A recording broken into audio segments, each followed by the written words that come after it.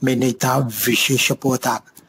අත්‍යවශ්‍ය නොවන සහ සුපෝකභෝගී භාණ්ඩ ගණනාවක ආනයනයන් සීමා කිරීම සම්බන්ධයෙන් රාජ්‍ය අවධානය දැඩිව මේ වන විට යොමු කරලා තිබෙනවා.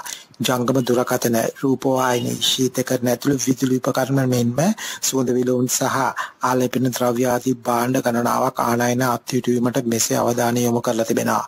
මේ ගැන අවධානය යොමු ඇත්තේ රටේ විදේශ විනිමය සංචිතය ශක්තිමත් වනතුරු විනිමය රට තුළ රඳවා ගැනීම සහ දේශීය නිෂ්පාදකයින්ට වැඩි අවස්ථාවක් ලබා දීම යන කාරණා සැලකිල්ලට ගනිමින් එමෙන්ම සංචිත ශක්තිමත් වීමෙන් අනතුරුව සීමා ලිහිල් කිරීමට කටයුතු කරනු ඇතැයිද?